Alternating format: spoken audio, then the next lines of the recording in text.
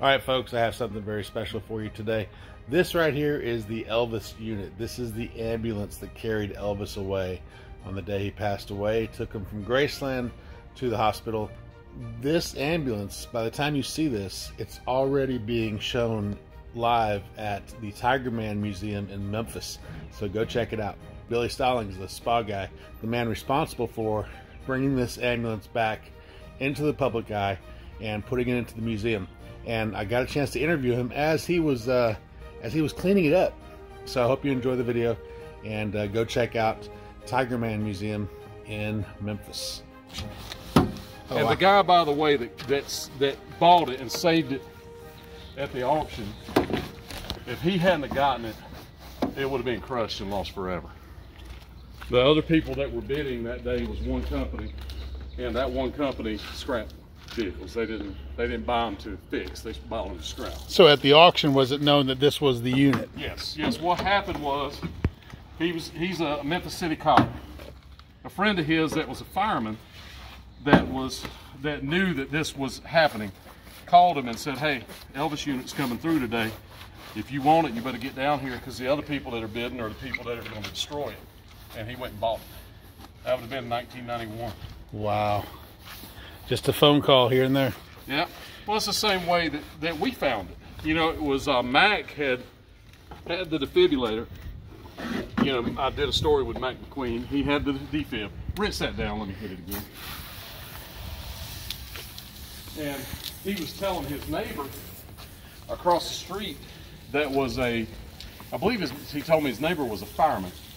And he was telling the neighbor that was a fireman about the defib. And he said, I sure wish I knew where the ambulance was. And neighbor said, I know where it's at. My buddy bought it. That's a policeman. So it was one of those kinds of things. So he went and saw it in these people's backyard before the guy had passed away, you know, before the guy that saved it, Terry, had passed away. And it was they were storing car parts in the back of it. And uh, he had a picture of it. He showed me a picture of it that he, it's in the video, that he had seen there um, and when he when he did the picture, um, he he was able to tell me kind of their last name. He didn't have quite right, but he told me the street that it was on. So what I did was got on Google and started searching that name, things close to that name on that street. I found the house that I thought was the right house. Went knocked on the door. The people said, "Yep, used to be here. That's my husband's. It was a lady. That's my husband's brother, and he's passed away." Um, but if we'll tell his widow, and at the time I didn't know her name, we'll tell her uh, that you're interested in looking at it, and we'll, and she'll give you a call. And so, in my naive mind, I thought, well, heck, I'm getting a call today. Well, that day went by, not didn't get a call. Next day, next day, next day, nothing. So, and I never asked for their phone number or anything to call them. I would just make it a habit when I went to Memphis, which I went to Memphis a lot, you know, filming Elvis stuff. When I would go to Memphis, I would, um, I'd make it a point to stop by their house and knock on their door.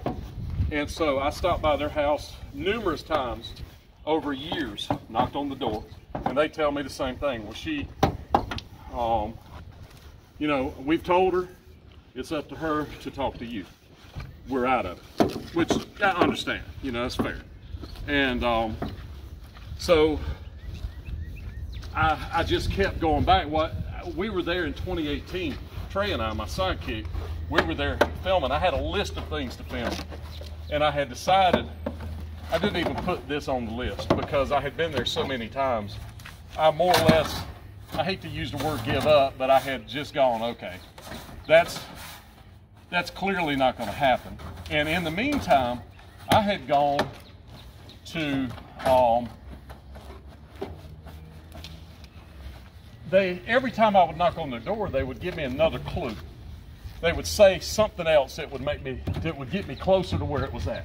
And when I'm saying another clue, they would tell me, well, I, you know, she lives over in such and such neighborhood. So what I did was during the winter, I went over there during the summer couldn't see anything. So I waited during the winter and went back and flew my drone with the trees down to see if I could see it in that neighborhood. I never did see it. So anyway, we were filming another story, and we were two blocks from where this from where the first house was. And I told Trey, I said, I don't have this even on the agenda, but we're here. We might as well go over there and knock on at least knock on the door and say hello.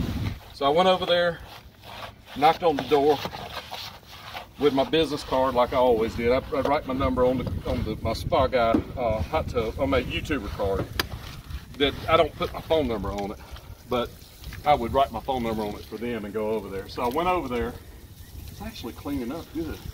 Yeah, it's looking Um, really good. Really I went actually. over there and um, rung the doorbell. Same thing. Told her I said, "I know you are tired of seeing me." She said, "She said, you know what?"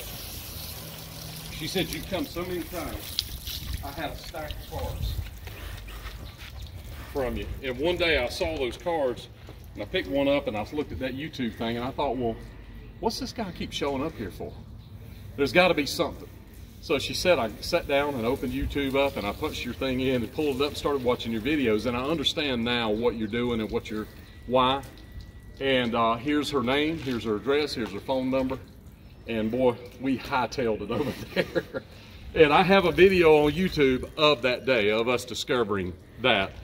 And I had Trey with me, so he was able to film my reaction the first time I ever saw it. So you hightailed it over there, huh? I hightailed it just as quick as I could. And when we got there, now you don't know, just because they gave me the information doesn't mean that lady's not going to kick me out of the yard. Sure. know? So I didn't know what her reaction would be. And her, um, she was very nice. I, so when I got there, the first thing I did was jumped out and zoomed in on it and filmed it so I had a record of it in case she ran me out of the yard. Then I uh, uh, went and knocked on the front door. And she came to the door. She was very nice, came out, talked to us, gave us permission to go back to it and film. And uh, then we had a conversation about, uh, I told her, this is the way I said it to her. I said, you know, this thing needs to be in a museum.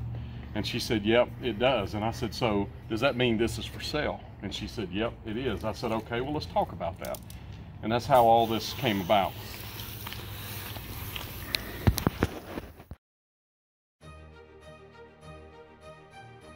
How could this end up in such a precarious spot? Well, I think because it is a, it's one of those things that you don't really want to talk about, Okay. but it, at the same time,